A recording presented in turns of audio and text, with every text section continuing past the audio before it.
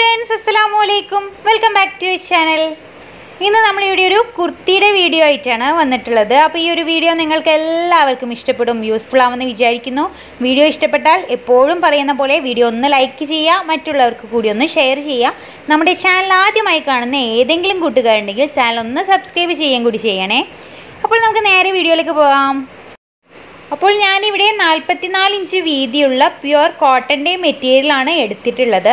രണ്ടര മീറ്റർ ഫാബ്രിക്കാണ് ഞാൻ വാങ്ങിയിട്ടുണ്ടായിരുന്നത്. എനിക്ക് ഈ ഒരു കളറും ഇതിന്റെ പ്രിന്റൊക്കെ കണ്ടപ്പോൾ നല്ല ഇഷ്ടമായിട്ടോ ഇതിന്റെ പ്രിന്റിൽ കുറച്ചൊരു മിസ്റ്റേക്കൊക്കെ ഉണ്ട്. പക്ഷെ അതൊക്കെ നമുക്ക് നെക്കിന്റെ ആ ഒരു ഭാഗത്ത് അഡ്ജസ്റ്റ് ചെയ്തെടുക്കാവുന്നതേ ഉള്ളൂ. അപ്പോൾ ഞാനിതേ നമ്മുടെ തുണി ഒന്ന് ആദ്യമേ തന്നെ ഇതേ ഇതുപോലെ ഒന്ന് മടക്കി വിരിച്ചെടുക്കുന്നുണ്ട്. കണ്ടില്ലേ? ഈ ഒരു ഭാഗം ഓപ്പൺ ആയിട്ട് കിടക്കുന്ന രീതിയിലും എന്റെ അരികുവശം മടക്ക് വശത്തിന്റെ ആ ഒരു രീതിയിലാണ് ഞാനിപ്പോൾ വിരിച്ചെടുത്തിട്ടുള്ളത്. ഇനി നമുക്ക് ആദ്യം തന്നെ നമ്മുടെ ഷോൾഡർ ഒന്ന് മാർക്ക് ചെയ്ത് കൊടുക്കാം. അപ്പോൾ എനിക്കിവിടെ പതിനഞ്ച് ഇഞ്ചാണ് ഷോൾഡർ അതിന്റെ പകുതി ഏഴര ഇഞ്ച് പ്ലസ് അര ഇഞ്ച് സ്റ്റിച്ചിങ് അലവൻസ് ചേർത്ത് എട്ട് ഇഞ്ച് ഇതേ ഇതുപോലെ ഒന്ന് മാർക്ക് ചെയ്ത് കൊടുക്കണം. ഇനി നമുക്ക് നമ്മുടെ ഷോൾഡർ പോയിന്റിൽ നിന്നും താഴേക്കായി എട്ടര ഇഞ്ച് ആം ഹോളിന് വേണ്ടി മാർക്ക് ചെയ്ത് കൊടുക്കാം. ശേഷം ദേ ഈ രണ്ട് പോയിന്റുകൾ തമ്മിൽ ദേ ഇതുപോലെ നമുക്കൊന്ന് സ്ട്രെയിറ്റ് ലൈൻ ആക്കി മാറ്റാം. കണ്ടില്ലേ? ഇനി നമ്മൾ എത്ര ഇഞ്ചിലാണോ നമ്മുടെ ആം ഹോൾ മാർക്ക് ചെയ്തിട്ടുള്ളത് അതേ അളവ് ഈ ഒരു ഭാഗത്തും മാർക്ക് ചെയ്തെടുക്കാം. അപ്പോൾ ഈ ഒരു ഭാഗത്തും ഞാൻ ഇവിടെ ഒന്ന് എട്ടര ഇഞ്ച് മാർക്ക് ചെയ്തെടുത്തു. ശേഷം നമുക്ക് ഈ രണ്ട് പോയിന്റുകൾ തമ്മിൽ ഇതേ ഇതുപോലെ ഒന്ന് സ്ട്രെയിറ്റ് ആയിട്ട് വരച്ചെടുക്കാം. അപ്പോൾ ഞാനിവിടെ നാൽപ്പത് ഇഞ്ച് ചെസ്റ്റ് റൗണ്ടിന്റെ അളവാണ് ഇതെല്ലാം ചെയ്തെടുക്കുന്നത്. നിങ്ങൾ നിങ്ങളുടെ കറക്റ്റ് അളവ് വേണം ഇതുപോലെ ചെയ്തെടുക്കാൻ. ഇനി നമുക്ക് ഈ ഒരു ലൈനിൽ നമ്മുടെ ചെസ്റ്റ് റൗണ്ടിന്റെ നാലിലൊരു ഭാഗം പ്ലസ് അര ഇഞ്ച് ലൂസ് പ്ലസ് ഒന്നര ഇഞ്ച് സ്റ്റിച്ചിങ് ലെവൻസ് കൊടുക്കാം. അപ്പോൾ നാൽപ്പതിന്റെ നാലിലൊരു ഭാഗം എന്ന് പറയുമ്പോൾ പത്ത് ഇഞ്ച് പ്ലസ് അര ഇഞ്ച് ലൂസ് പത്തര പ്ലസ് ഒന്നര ഇഞ്ച് സ്റ്റിച്ചിങ് ലെവൻസ് ചേർത്ത് പന്ത്രണ്ട് ഇഞ്ച് ഇതേ ഇതുപോലെ ഒന്ന് ഞാനിവിടെ ഒന്ന് മാർക്ക് ചെയ്തെടുത്തു. ഇനി നമുക്കിതേ നമ്മുടെ വേസ്റ്റ് ലെങ്ത് ആണ് മാർക്ക് ചെയ്തെടുക്കേണ്ടത്. അപ്പോൾ എനിക്കിവിടെ പതിനാലര ഇഞ്ചാണ് വേസ്റ്റ് ലെങ്ത് വേണ്ടത്. പ്ലസ് അര ഇഞ്ച് സ്റ്റിച്ചിങ് അലവൻസ് കൂടി ചേർത്ത് പതിനഞ്ച് ഇഞ്ച് വീതം ഇരുവശങ്ങളിലും മാർക്ക് ചെയ്തെടുത്തതിനു ശേഷം നമുക്ക് ഈ ഒരു ഭാഗവും ഇതുപോലെ ഒന്ന് സ്ട്രെയിറ്റ് ആയിട്ട് വരച്ചു കൊടുക്കാം. ഇനി നമ്മൾ നേരത്തെ ചെസ്റ്റ് ചെയ്ത അതേ രീതിയിൽ വേസ്റ്റ് റൗണ്ടിന്റെ നാളിൽ ഒരു ഭാഗം പ്ലസ് അര ഇഞ്ച് ലൂസ് പ്ലസ് ഒന്നര ഇഞ്ച് സ്റ്റിച്ചിങ് അലവൻസ് നമുക്കിവിടെ കൊടുക്കണം. അപ്പോൾ വേസ്റ്റ് റൗണ്ട് മുപ്പത്താറ് ഇഞ്ചാണ്. അതിന്റെ നാലിലൊരു ഭാഗം ഒൻപത് ഇഞ്ച് പ്ലസ് അര ഇഞ്ച് ലൂസ് അപ്പോൾ ഒൻപതര ഇഞ്ച്. ശേഷം ഞാനിവിടെ രണ്ട് ഇഞ്ച് സ്റ്റിച്ചിങ് അലവൻസ് കൊടുക്കുന്നുണ്ട്. ഞാൻ ഈ ഒരു കുർത്തി പ്രഗ്നന്റ് ആയിട്ടുള്ള ഒരാൾക്ക് വേണ്ടിയാണ് ചെയ്തെടുക്കുന്നത്. അതുകൊണ്ടാണ് ഞാനിവിടെ രണ്ട് ഇഞ്ച് സ്റ്റിച്ചിങ് അലവൻസ് കൊടുത്തിട്ടുള്ളത്. നിങ്ങൾ സാധാരണ ചെയ്തെടുക്കുമ്പോൾ ഒന്നര ഇഞ്ച് മാർക്ക് ചെയ്തെടുത്താൽ മതി. ഓക്കെ ഇനി നമുക്ക് നമ്മുടെ സ്ലിറ്റിന്റെ ലെങ്ത്താണ് മാർക്ക് ചെയ്തെടുക്കേണ്ടത്. അപ്പോൾ ഞാൻ ഇരുവശങ്ങളിൽ നിന്നും ഇരുപത്തി രണ്ടര ഇഞ്ച് വീതം സ്ലിറ്റിന് ഒന്ന് മാർക്ക് ചെയ്തെടുത്തു. ആ ഒരു ഭാഗം കൂടി ഇതുപോലെ ഒന്ന് സ്ട്രെയിറ്റ് ആയിട്ട് വരച്ചെടുത്തിട്ടുണ്ട് എനിക്കിവിടെ ഹിപ്പ് റൗണ്ട് വേണ്ടത് നാൽപ്പത്തി എട്ട് ഇഞ്ചാണ് അതിന്റെ നാലിലൊരു ഭാഗം പന്ത്രണ്ട് ഇഞ്ച് പ്ലസ് അര ഇഞ്ച് ലൂസ് ചേർത്ത് പന്ത്രണ്ടര ഇഞ്ച് നമുക്കിവിടെ ഒന്ന് ദേ ഇതുപോലെ മാർക്ക് ചെയ്ത് കൊടുക്കാം. ശേഷം ഒരു ഇഞ്ച് നമുക്ക് സ്ലിറ്റിന്റെ ആ ഒരു ഭാഗം സ്റ്റിച്ച് ചെയ്തെടുക്കാൻ വേണ്ടി ഒരു ഇഞ്ച് മാത്രം നമുക്കിവിടെ സ്റ്റിച്ചിങ് അലവൻസ് കൊടുത്തെടുത്താൽ മതി. ഇനി നമുക്ക് ഈ മൂന്ന് പോയിന്റുകൾ നമ്മളൊന്ന് ഷേപ്പ് ചെയ്ത് വരച്ചെടുക്കാം. അപ്പോൾ ഞാൻ നേരത്തെ പറഞ്ഞ പോലെ ഇവിടെ ചെസ്റ്റിന്റെ ഭാഗത്തും വേസ്റ്റ് ഭാഗത്തും ഞാനിവിടെ രണ്ട് ഇഞ്ച് വീതം സ്റ്റിച്ചിങ് അലവൻസ് കൊടുത്തിട്ടുണ്ട്. നിങ്ങൾക്ക് അത്രത്തോളം ആവശ്യം ഉണ്ടാവില്ല ഒരു ഇഞ്ചോ ഒന്നര ഇഞ്ചോ സ്റ്റിച്ചിങ് അലവൻസ് കൊടുത്താൽ മതിയാകും. ഇനി നമുക്ക് ടോട്ടൽ ലെങ്ത്താണ് മാർക്ക് ചെയ്തെടുക്കേണ്ടത്. അപ്പോൾ എനിക്കിവിടെ നാൽപ്പത്തി മൂന്ന് ഇഞ്ചാണ് ലെങ്ത്ത് വേണ്ടത്. പക്ഷേ ഫാബ്രിക് ടോട്ടൽ നാൽപ്പത്തി നാല് ഇഞ്ചേ ഉള്ളൂ. അപ്പോൾ ഞാൻ മൊത്തത്തിൽ ആ ഒരു ഫാബ്രിക്കിന്റെ ലെങ്ത്ത് എടുക്കുന്നുണ്ട്. നിങ്ങളുടെ കയ്യിൽ ഫാബ്രിക് ഉണ്ട് എന്നുണ്ടെങ്കിൽ ഒന്നര ഇഞ്ച് സ്റ്റിച്ചിങ് അലവൻസ് കൊടുത്തെടുക്കാൻ പ്രത്യേകം ശ്രദ്ധിക്കുക. ഇനി നമ്മൾ നമ്മുടെ സ്ലിറ്റിന്റെ വീതി. ദേ ഇതുപോലെ ഒരു വശത്ത് എത്ര ഇഞ്ചിലാണോ കൊടുത്തിട്ടുള്ളതെന്ന് കറക്റ്റ് നോക്കുക അപ്പോൾ ഇവിടെ സ്റ്റിച്ചിങ് അലവൻസ് കൂട്ടേണ്ട ആവശ്യമില്ല. അല്ലാത്ത ഭാഗത്ത് ഞാനിവിടെ പന്ത്രണ്ടര ഇഞ്ചാണ് കൊടുത്തെടുത്തിട്ടുള്ളത്. അതിനേക്കാൾ ഒരു ഇഞ്ച് എക്സ്ട്രാ നമുക്കിതേ ഇവിടെ താഴ്വശത്ത് ചേർത്ത് കൊടുക്കണം. ഒരു ഇഞ്ചോ ഒന്നര ഇഞ്ചോ നമുക്കിവിടെ എക്സ്ട്രാ ചേർത്ത് കൊടുക്കാം. അപ്പോൾ ഞാനിതേ ഇവിടെ പതിമൂന്നര ഇഞ്ച് ഒന്ന് മാർക്ക് ചെയ്തെടുത്തു. ശേഷം ഈ ഒരു ഭാഗത്ത് നമുക്ക് ഒരു ഇഞ്ച് മാത്രം സ്റ്റിച്ചിങ് അലവൻസ് വിട്ടുകൊടുത്താൽ മതി. കണ്ടില്ലേ? ഇനി നമുക്ക് ഈ പോയിന്റുകൾ നമ്മൾ ഇത് ഇതുപോലെ ഒന്ന് സ്ട്രെയിറ്റ് ആയിട്ട് വരച്ചു കൊടുക്കാം. അപ്പോൾ ഈ ഒരു രീതിയിലാണ് നമ്മളിവിടെ വരച്ചെടുക്കേണ്ടത് കണ്ടില്ലേ? ഇനി നമുക്കിത് നമ്മുടെ ഈ ഒരു ഷേപ്പിന്റെ ഭാഗം കറക്റ്റ് ഒന്ന് കൈകൊണ്ട് തന്നെ ദേ ഇതുപോലെ ജസ്റ്റ് ഒന്ന് നന്നായി ഷേപ്പ് ചെയ്ത് വരച്ചെടുക്കാം.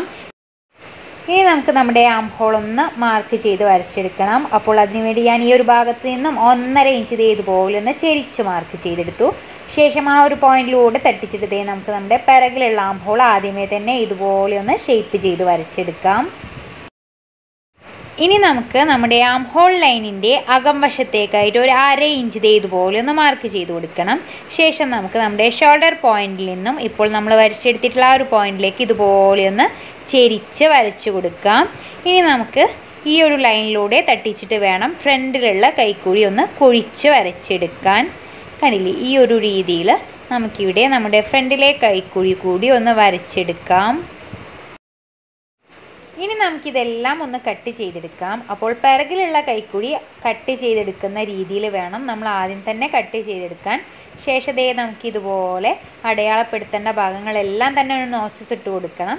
ശേഷതേ ഞാനിവിടെ പിറകിലെ പീസ് ഒന്ന് മാറ്റിയെടുത്തിട്ടുണ്ട്. ഇനി നമുക്ക് ഇതിൽ നിന്നും ഫ്രണ്ടിലെ കൈക്കുഴി കൂടി ഇതേ ഇതുപോലെ ഒന്ന് കുഴിച്ച് വെട്ടിയെടുക്കണം.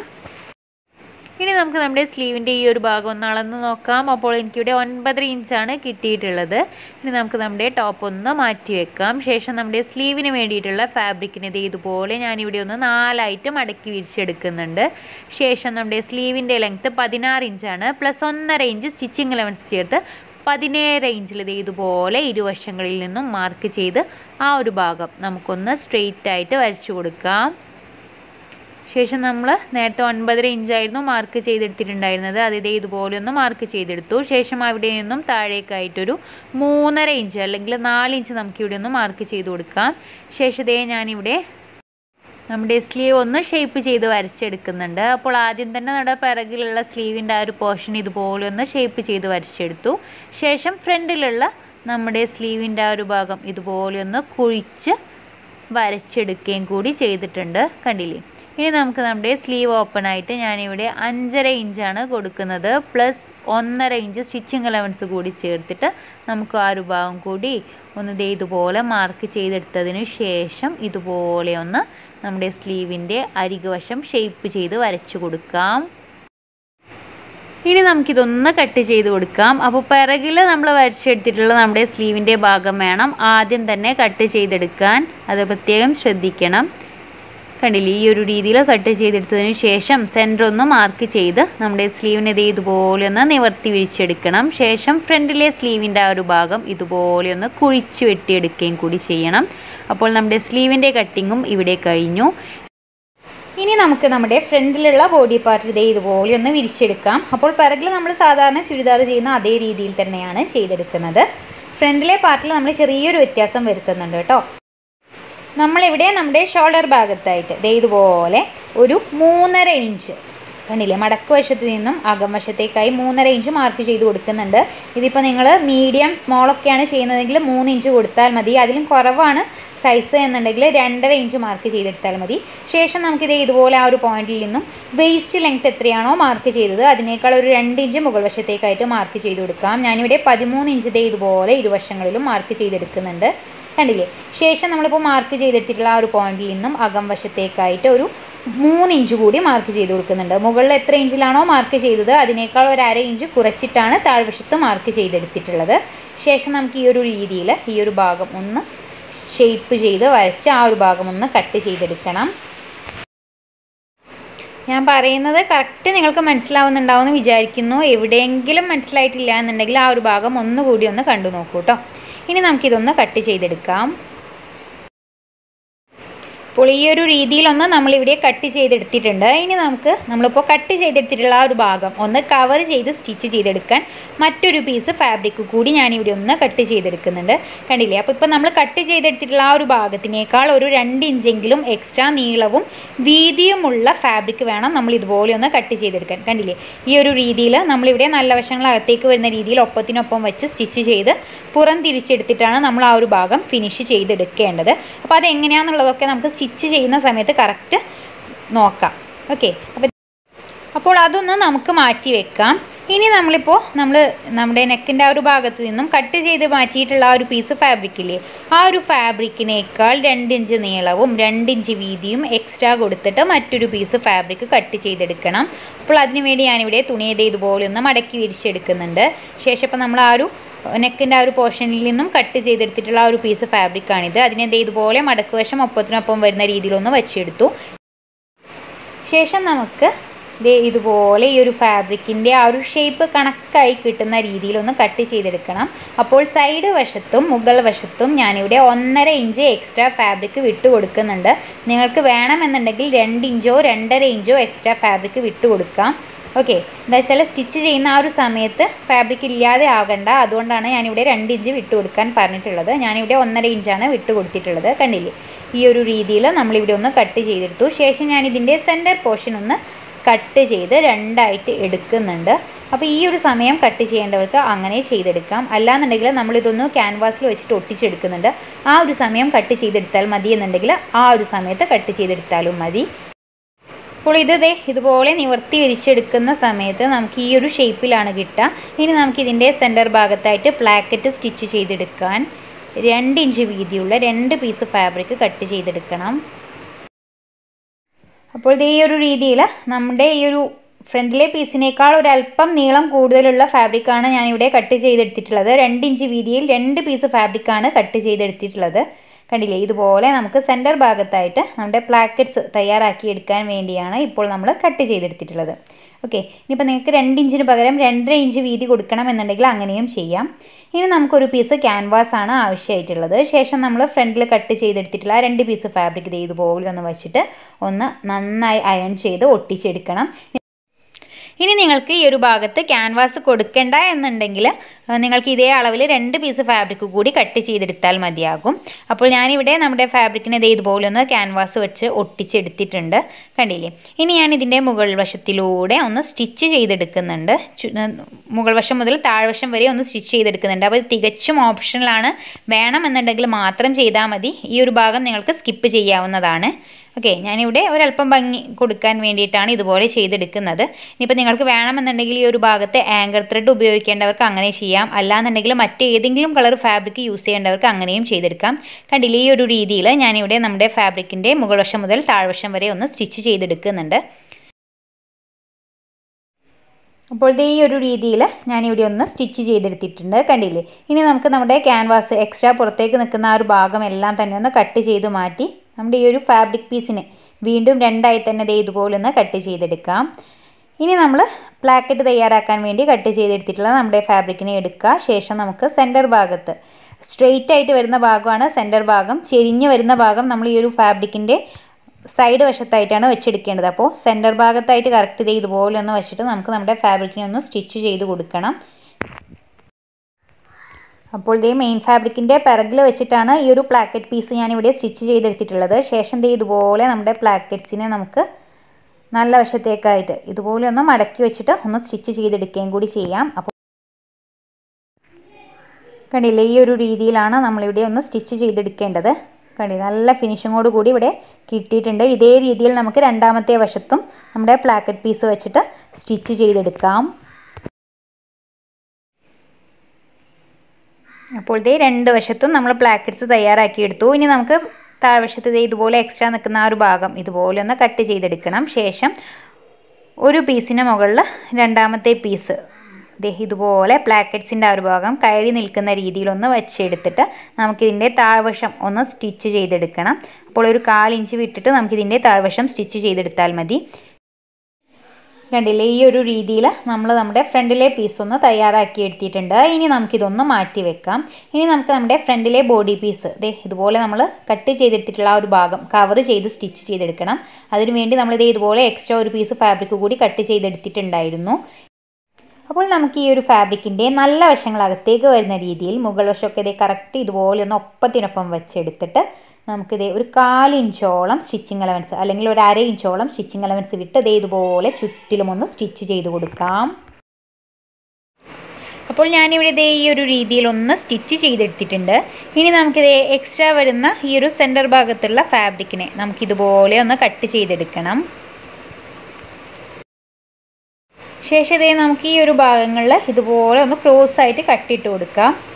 താഴ്വശത്ത് ബോക്സ് പോലെ നമ്മൾ സ്റ്റിച്ച് ചെയ്തെടുത്തിട്ടില്ല? ആ ഒരു ഭാഗത്ത് ഇതേ ഇതുപോലെ നമ്മൾ സ്റ്റിച്ച് ചെയ്തെടുത്തിട്ടുള്ള ഒരു ത്രെഡിന്റെ തൊട്ടരികുവശം വരെ നമുക്ക് ഇതുപോലെ ഒന്ന് ഇരുവശങ്ങളിലും കട്ടിട്ട് കൊടുത്തതിന് ശേഷം നമുക്കിതേ നമ്മുടെ ബോഡി പീസിന്റെ ചീത്ത വശത്തേക്കായിട്ട് ഇപ്പോൾ നമ്മൾ സ്റ്റിച്ച് ചെയ്തെടുത്തിട്ടുള്ള ആ ഒരു പീസ് ഫാബ്രിക്കിനെ ഇതുപോലെ ഒന്ന് പുറം തിരിച്ചെടുക്കണം. ശേഷം നമുക്കിത് നന്നായി തന്നെ ഒന്ന് അയൺ ചെയ്ത് പ്രസ് ചെയ്തെടുക്കാം. അപ്പോൾ ഇതേ ഈ ഒരു രീതിയിൽ ഞാനിവിടെ നന്നായി ഒന്ന് അയൺ ചെയ്തെടുത്തിട്ടുണ്ട്. ഇനി നമ്മൾ പ്ലാക്കറ്റ്സ് വെച്ച് തയ്യാറാക്കി എടുത്തിട്ടുള്ള നമ്മുടെ ഈ ഒരു പീസ് ഫാബ്രിക് എടുത്തതിന് ശേഷം നമ്മൾ ഇപ്പോൾ ഈ ഓപ്പൺ ആയി കിടക്കുന്ന ആ ഒരു ഭാഗം ഇതേ ഇതുപോലെ ഒന്ന് കറക്റ്റ് നമ്മുടെ ഈ ഒരു ഫാബ്രിക്കിന്റെ മുകൾ വശത്തേക്ക് കയറി നിൽക്കുന്ന രീതിയിൽ ഇതുപോലെ ഒന്ന് വെച്ച് കൊടുക്കണം. ശേഷം നമുക്കിതിന് ചുറ്റിലും ഒന്ന് പിൻ ചെയ്തെടുക്കാം. അപ്പോൾ ഇതേ ഇവിടെ ഒന്ന് പിൻ ചെയ്തെടുത്തിട്ടുണ്ട്. ഇനി നമുക്കിതേ ഈ ഒരു ഭാഗത്തിലൂടെ ഒന്ന് സ്റ്റിച്ച് ചെയ്തെടുക്കണം. ഇവിടെ നിങ്ങൾക്ക് വേണമെന്നുണ്ടെങ്കിൽ ഏതെങ്കിലും കോൺട്രാസ്റ്റ് കളറിലുള്ള പൈപ്പിങ്ങും കൊടുത്തെടുക്കാവുന്നതാണ്. ഇപ്പോൾ ഞാനിവിടെ പൈപ്പിംഗ് ഒന്നും കൊടുക്കുന്നില്ല. ജസ്റ്റ് ഇത് ഇതുപോലെ ഒന്ന് വെച്ച് സ്റ്റിച്ച് ചെയ്തെടുക്കുകയാണ് ചെയ്യുന്നത്.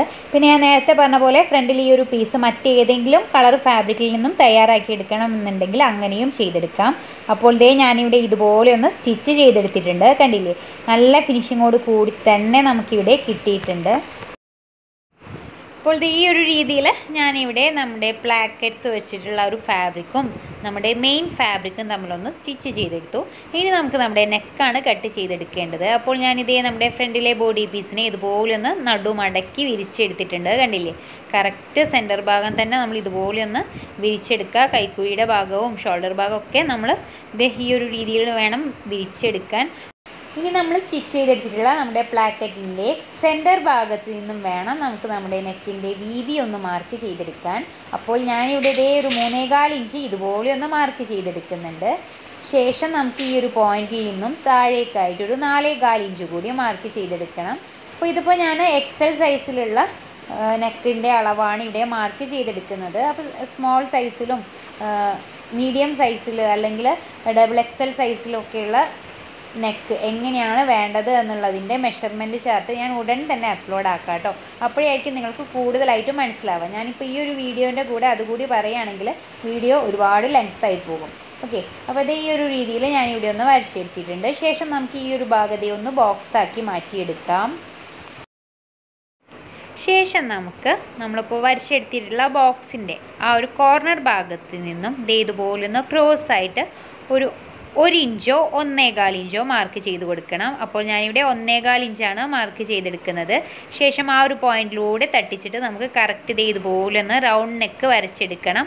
അപ്പോൾ ആംഹോൾ കർവൊക്കെ ഉണ്ടെങ്കിൽ ആ ഒരു സംഭവം വെച്ചിട്ട് വരച്ചെടുക്കാം. അല്ലാന്നുണ്ടെങ്കിൽ കുറച്ച് വലിപ്പമുള്ള റൗണ്ട് ഷേപ്പിലുള്ള എന്തെങ്കിലും ഒരു സംഭവം വെച്ചിട്ട് ഇതുപോലെ നിങ്ങൾക്ക് വരച്ചെടുക്കാവുന്നതേ ഉള്ളൂ. ശേഷം നമുക്ക് ആ ഒരു ഭാഗം ഒന്ന് കട്ട് ചെയ്ത് മാറ്റാം.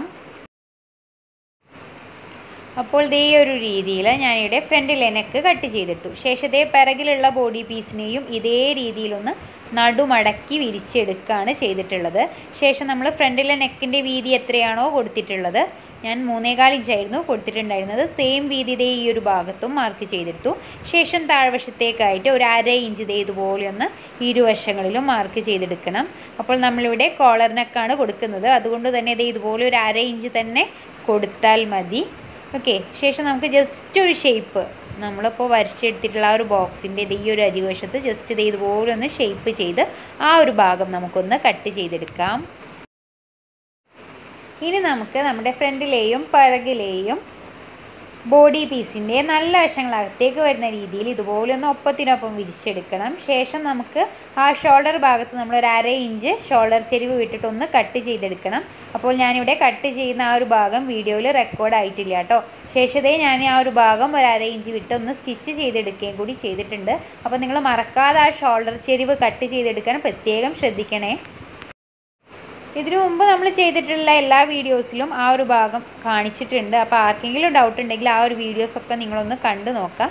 ഇനി നമുക്ക് നമ്മുടെ കോളർ കട്ട് ചെയ്തെടുക്കാനുള്ള ഫാബ്രിക് എത്ര നീളത്തിലാണ് വേണ്ടത് എന്നുള്ളതാണ് നോക്കേണ്ടത്.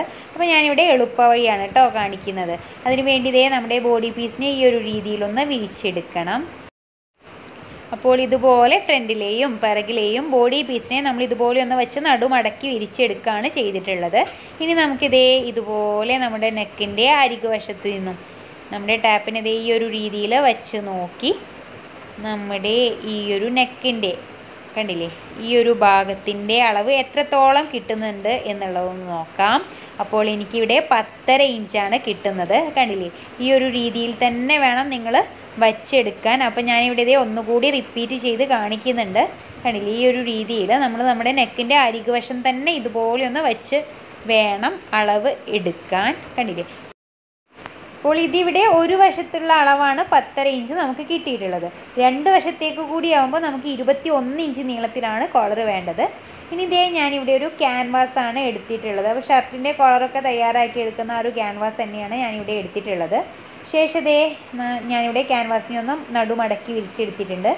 ശേഷം നമ്മൾ നമ്മുടെ നെക്കിന് എത്ര ഇഞ്ചിലാണോ വീതി കൊടുത്തിട്ടുള്ളത് സെയിം അളവ് ഈ ഒരു ഭാഗത്ത് മാർക്ക് ചെയ്ത് കൊടുക്കണം. അപ്പോൾ ഞാൻ നമ്മുടെ നെക്കിന് കുർത്തിയുടെ നെക്കിന് മൂന്നേകാൽ ഇഞ്ചാണ് വീതി കൊടുത്തിട്ടുണ്ടായിരുന്നത്. അതുകൊണ്ട് ഇതുപോലെ ഇരുവശങ്ങളിലും മൂന്നേകാൽ ഇഞ്ച് വീതം മാർക്ക് ചെയ്ത് ആ ഒരു ഭാഗം ഒന്ന് ഇതുപോലെ സ്ട്രെയിറ്റ് ആയിട്ട് മാറ്റി വരച്ചെടുക്കുകയാണ് ചെയ്യുന്നത്. കണ്ടില്ലേ? ഇനി നമുക്ക് നമ്മുടെ ഈ ഒരു മടക്ക് വശത്ത് നമ്മൾ വരച്ചെടുത്തിട്ടുള്ള ലൈനിന്റെ മുകൾ വശത്തേക്കായിട്ട് ഒരു കാലിഞ്ച് മാർക്ക് ചെയ്ത് കൊടുക്കണം. കണ്ടില്ലേ? ഈ ഒരു രീതിയിലൊന്ന് കാലിഞ്ച് മാർക്ക് ചെയ്തെടുക്കാം. ശേഷം നമ്മൾ നമ്മുടെ നെക്കിന്റെ വീതി നമ്മളിപ്പോൾ മാർക്ക് ചെയ്തെടുത്തില്ലേ? മൂന്നേകാൽ ഇഞ്ച് സെയിം അളവ് നമ്മൾ ഈ ഒരു മടക്ക് വശത്ത് നിന്നും അകം വശത്തേക്കും മാർക്ക് ചെയ്ത് കൊടുക്കണം. അപ്പോൾ ഇതേ അളവ് ഇതേ ഈ ഒരു ഭാഗത്തും നമുക്കൊന്ന് മാർക്ക് ചെയ്തെടുക്കണം. ഞാനിവിടെ ഇതേ മൂന്നേകാൽ ഇഞ്ച് ഈ ഒരു ഭാഗത്തും മാർക്ക് ചെയ്തെടുത്തു. ശേഷം നമുക്ക് ആ ഒരു ഭാഗം കൂടി ഇതേ ഇതുപോലെ ഒന്ന് വരച്ചെടുക്കാം. ഇതിപ്പോൾ നിങ്ങൾക്ക് പെട്ടെന്ന് മനസ്സിലാൻ വേണ്ടിയിട്ടാണ് ഇതുപോലെ ചെയ്യുന്നത് കേട്ടോ. ഇപ്പോൾ നമ്മൾ വരച്ചെടുത്തിട്ടുള്ള ആ ഒരു ലൈനിന്റെ പുറമേക്കായിട്ട് നമ്മൾ നമ്മുടെ നെക്കിന് എത്രത്തോളമാണോ ഫ്രണ്ടിൽ നെക്കിന് ഇറക്കം കൊടുത്തത് അതൊന്ന് മാർക്ക് ചെയ്ത് കൊടുക്കണം. അപ്പോൾ ഞാൻ നേരത്തെ പറഞ്ഞ പോലെ ഏതൊരാൾക്കും മനസ്സിലാവുന്ന രീതിയിലാണ് ഞാനിവിടെ കാണിക്കുന്നത്. അതുകൊണ്ട് തന്നെ ഞാനിവിടെ സ്റ്റിച്ചിങ് എലവൻസ് കൂടി ഉൾപ്പെടുത്തിയിട്ടാണ് ചെയ്യുന്നത്. ഞാൻ നേരത്തെ ദേ ഇതുപോലെ നാലേകാൽ ഇഞ്ചാണ് കൊടുത്തിട്ടുണ്ടായിരുന്നത്. ആ നാലേകാൽ ഇഞ്ച് ഈ ഒരു ഭാഗത്ത് കറക്റ്റ് ഇതേ ഇതുപോലെ ഒന്ന് ഇരുവശങ്ങളിലും മാർക്ക് ചെയ്തെടുത്തു. ശേഷം ആ ഒരു ഭാഗം കൂടി നമ്മൾ ഇതേ ഇതുപോലെ ഒന്ന് സ്ട്രെയിറ്റ് ആയിട്ട് വരച്ചെടുക്കുകയാണ് ചെയ്യുന്നത്. ഇനി നമുക്ക് ഈ ഒരു കോർണർ ഭാഗത്ത് നിന്നും അകം വശത്തേക്കായിട്ട് നേരത്തെ നമ്മൾ നെക്കിന് മാർക്ക് ചെയ്തെടുത്തിട്ടില്ലേ? ഒന്നേകാൽ ഇഞ്ച്. ആ ഒരു മാർക്കിംഗ് ഈ ഒരു ഭാഗത്തും ഞാനിവിടെ ഒന്ന് കൊടുക്കുന്നുണ്ട്. ഓക്കെ കണ്ടില്ലേ? ഇതുപോലെ ഒന്ന് ഞാനിവിടെ ചെരിച്ച് മാർക്ക് ചെയ്തെടുത്തിട്ടുണ്ട്. ശേഷം നമ്മൾ നേരത്തെ നെക്ക് എങ്ങനെയാണോ റൗണ്ട് ഷേപ്പിൽ വരച്ചെടുത്തിട്ടുണ്ടായിരുന്നത്. അതേ രീതിയിൽ ഈ ഒരു ഭാഗത്തും ഒന്ന് റൗണ്ട് ഷേപ്പ് വരച്ചെടുക്കണം. അപ്പോൾ ദേ അതിനു മുൻപ് ഞാനിവിടെ നമ്മളിപ്പോൾ മാർക്ക് ചെയ്തെടുത്തിട്ടുള്ള ഈ ഒരു സെന്ററിലുള്ള പോയിന്റും അതുപോലെ നമ്മൾ ആ ഒരു ലൈനിന്റെ മുകൾ വശത്തേക്കായിട്ട് ഒരു കാലിഞ്ച് മാർക്ക് ചെയ്തിട്ടുണ്ടായിരുന്നു ആ ഒരു പോയിന്റും നമ്മൾ ഇത് ഇതുപോലെ ഒന്ന് ആദ്യമേ തന്നെ വരച്ചെടുത്തു. ശേഷം നമുക്ക് ഈ ഒരു ഭാഗം നമ്മൾ റൗണ്ട് നെക്ക് എങ്ങനെയാണോ വരച്ചെടുത്തിട്ടുണ്ടായിരുന്നത് അതേ രീതിയിലൊന്ന് ഷേപ്പ് ചെയ്ത് വരച്ചെടുക്കണം. അപ്പോൾ ഇതേ ഈ ഒരു രീതിയിൽ ഞാനിവിടെ നമ്മുടെ കോളർ ഒന്ന് വരച്ചെടുത്തിട്ടുണ്ട്. ശേഷം നമ്മളിപ്പോൾ വരച്ചെടുത്തിട്ടുള്ള ലൈനിന്റെ പുറമേക്കായി ഒന്നേകാൽ ഇഞ്ച് വീതിയിൽ നമ്മൾ വരച്ചെടുത്തിട്ടുള്ള അതേ ഷേപ്പിൽ ഇതേ ഇതുപോലെ ഒന്ന് മാർക്ക് ചെയ്തെടുക്കുകയാണ് ചെയ്യുന്നത്. കണ്ടില്ലേ?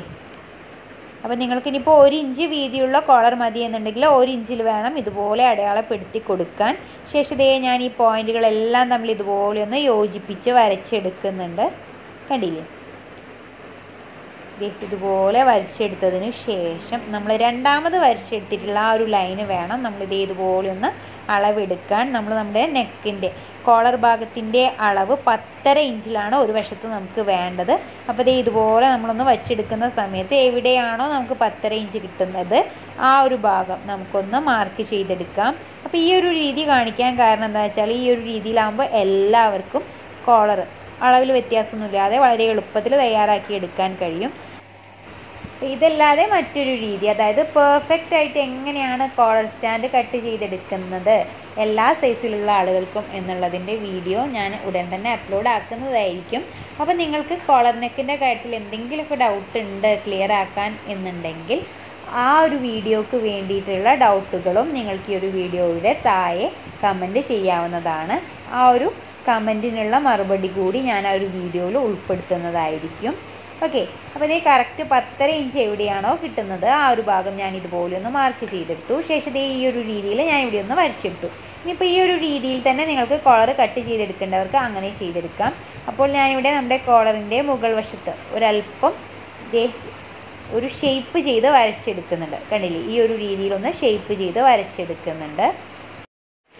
ഇനി നമ്മൾ നമ്മുടെ ക്യാൻവാസ് കട്ട് ചെയ്തെടുക്കുന്നതിന് മുമ്പ് ഇതുപോലെ ഒന്ന് പിൻ ചെയ്തെടുക്കണം. അത് പ്രത്യേകം ശ്രദ്ധിക്കണം കേട്ടോ. ഇതുപോലെ പിൻ ചെയ്തെങ്കിൽ മാത്രമേ നമുക്ക് ആ കറക്റ്റ്